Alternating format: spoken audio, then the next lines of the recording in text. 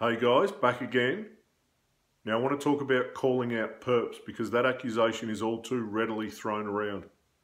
Get it wrong and you further diminish someone's reputation and support. Just because you don't like someone's opinion, their personality or the people they choose to be friends with, that does not make them a perp and throwing that term around willy-nilly quite frankly looks like paranoid behaviour. Anyone that's a self-proclaimed perp buster or continually abuses that word is someone I choose not to engage with. To me that word is the ultimate disrespect. Even if used loosely I don't care. Direct that accusation at me, you're done. As someone that has lived so much of my recent life online, I don't take these type of accusations lightly.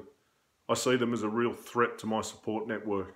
Now, we all get it wrong and will continue to, but can we stop the overuse of this word and perpetuating the stigma of the paranoid target?